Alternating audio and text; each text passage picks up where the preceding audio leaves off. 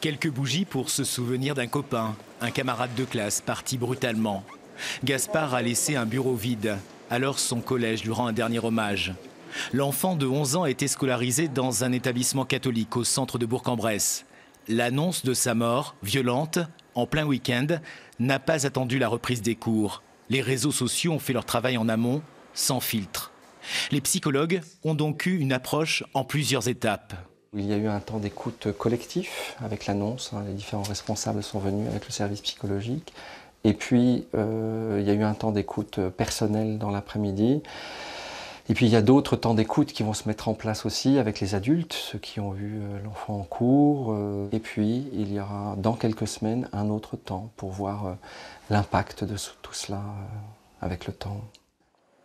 En période de crise, l'enseignement catholique dit aussi trouver des réponses dans les temps de prière, d'où la présence plus appuyée de l'aumônier ces derniers jours. Ils aiment parler euh, de leur relation avec la personne, soit pour dire je suis touché, et voilà pourquoi je suis touché, soit pour dire euh, c'est pas un inconnu qui est ici, c'est quelqu'un qui, euh, qui fait partie de ma vie.